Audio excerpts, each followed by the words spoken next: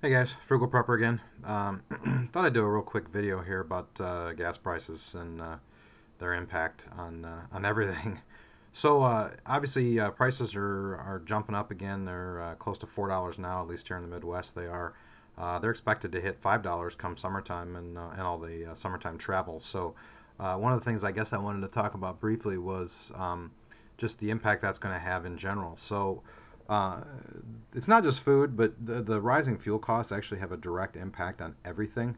Uh, you know, whether it be heating your home or water, uh, pretty much anything that uh, relies on fuel from a supply chain perspective. Uh, as those costs to bring you stuff go up, they're um, they're going to pass that cost along to you. They're not going to eat it for sure. So what that means is that uh, any uh, any food that you stock up on today is going to probably be less expensive than uh, food you're going to stock up on uh, three months from now. So, uh, from a frugality standpoint, I figured I'd start pointing this out. Um, there's a re- couple of real good links out there. A lot of the guys that I work with um, ask the question, you know, how do I how do I know what it is I have, uh, or at least you know how do I how do I know I have enough?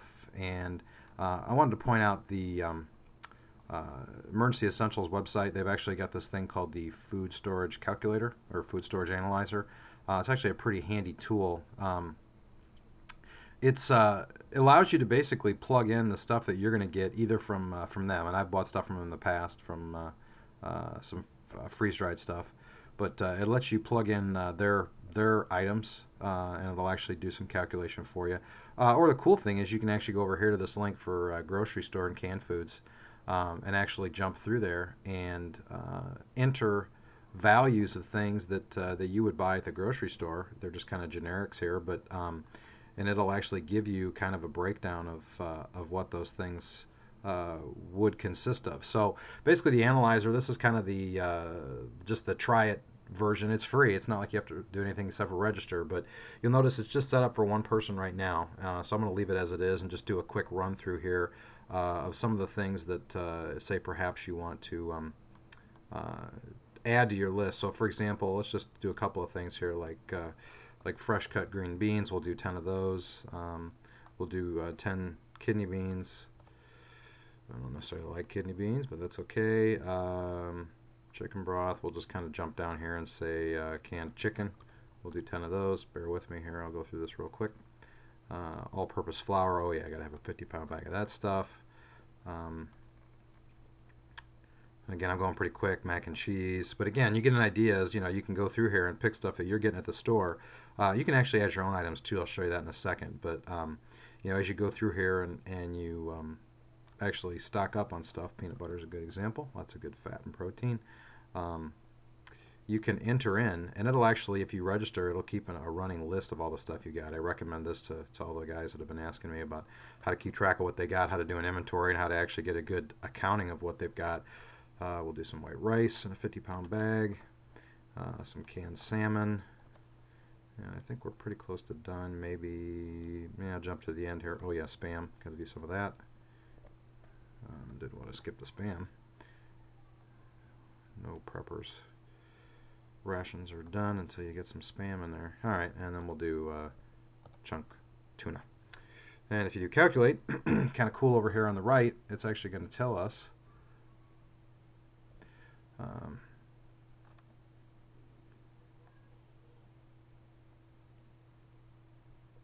it's going to tell us uh, for one person we've actually got 103.3 or excuse me 105.35 days.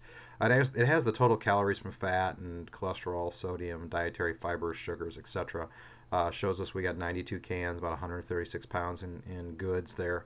Um, and so again, 105 days, not bad, three months uh, for the stuff that I chose there. And again, it's only 136 cans. Now, again, this is just a loose estimation of the things that uh, you should store. In in fact, you need to have a better balanced diet. So you need fat, you need some sugars, you need some fruits and, and vegetables and things like that. But this is at the very least a really good way of of understanding uh, what, how much you have and how much more you need to add. So the other cool thing I like about it is the, that hundred and some days that we just had. I can actually go in there and and um, change the breakdown in my family uh, and say I got a 12 year old female and I got a 10 year old female and I got an 8 year old male, uh, and it's actually going to update for us the um, daily caloric requirements. So you'll notice it's it's gone from a 2,000 daily calorie requirement to 1,600 for the older kids and 1,400 for the younger kid. And then if we go back to the analyzer, uh, it's actually changed now. Our food storage now is 24 days. So you can go through and, and again, you can pick any of the uh, the products that they sell in Emergency Essentials. You can add MREs in there if you had those. Again, grocery store and canned foods. And then the other thing I thought was kind of cool was you can add your uh, your own items. Now you have to log in for that one. Again, there's no charge, uh, but it allows you to actually put in stuff that you don't they don't have at least in their generic page here. Um, I'll put this link in the uh, in the video. Uh, the other thing I wanted to point out was another site called FoodStorageMadeEasy.net, um, and they've actually got down here a Excel spreadsheet which I opened up, and this spreadsheet kind of does the same thing. If you can see here, I basically put in um, three adults, two kids, three months, and it actually breaks it down for you as to how many pounds or quantity of stuff that you need to buy. And this is actually a more balanced spreadsheet from a planning standpoint. It actually gives you a breakdown of grains, fats, uh, oils, sugars, milk, uh, essentials, and things like that. So um, you may want to use this for your planning, and obviously it's really nice to have the spreadsheet so you can uh, print it out uh, keep it with your inventory. But I'll put these links in the uh, in the video. Again, it's really good to um, good to have.